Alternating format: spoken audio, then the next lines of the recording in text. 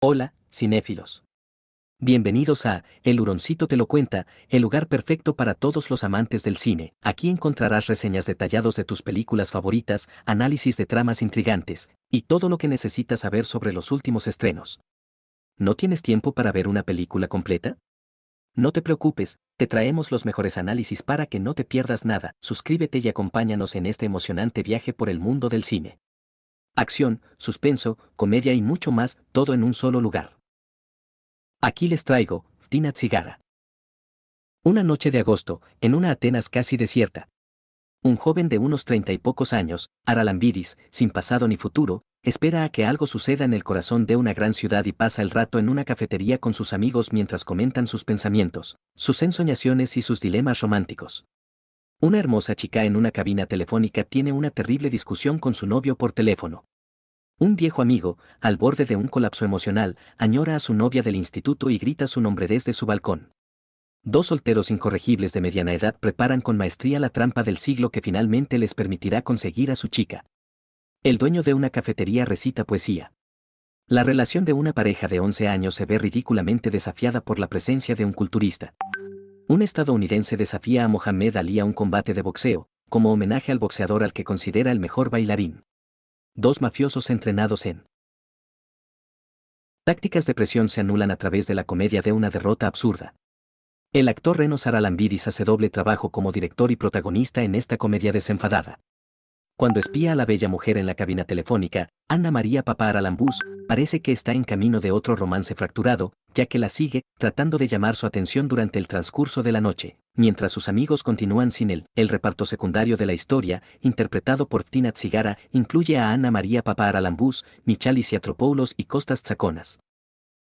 Tina Tsigara, también conocida como Chips Mox, es una película griega dirigida por Renos Aralambidis, estrenada en 2000. Ambientada en una Atenas casi desierta durante una noche de agosto, la película se centra en un joven de unos 30 años, interpretado por el propio Aralambidis, que parece carecer de un pasado o futuro claros. Mientras pasa tiempo en una cafetería con sus amigos, participan en discusiones sobre sueños, dilemas románticos y sus vidas cotidianas. La trama entrelaza una serie de situaciones extravagantes y divertidas que involucran a varios personajes, como una mujer que discute con su novio en una cabina telefónica y un hombre que añora a su novia de la secundaria. La narrativa presenta una mezcla de romance, comedia y un toque de absurdo. La película captura la sensación de una ciudad en el limbo, llena de gente común en busca de significado.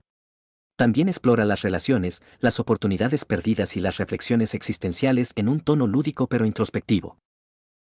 Aquí tienes 10 curiosidades sobre Ftina Tsigara, 2000, dirigida por Reno Saralambidis. 1. Ópera prima de Reno Saralambidis. Tina Tsigara es la primera película como director de Reno Saralambidis, quien también interpreta al protagonista. Su enfoque de la película fue el de un retrato íntimo y realista de la vida urbana en Atenas. 2. Ambientación única. La película está ambientada en una Atenas casi desierta durante la noche de agosto. Esta elección de la ubicación refleja el estado de ánimo de los personajes, perdidos, esperando algo que suceda sin un destino claro.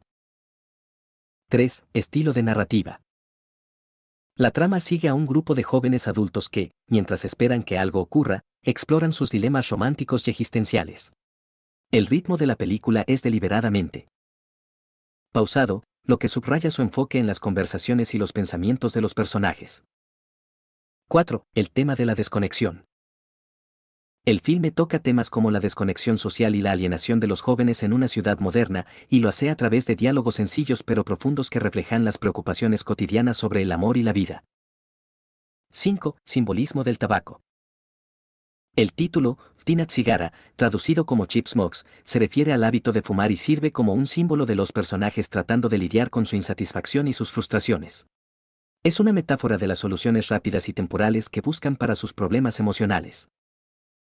6. Interpretación profunda del protagonista. Reno Saralambidis, además de ser el director, es también el actor principal. Su interpretación de un hombre sin pasado ni futuro refleja el vacío existencial que afecta a muchos jóvenes de la época.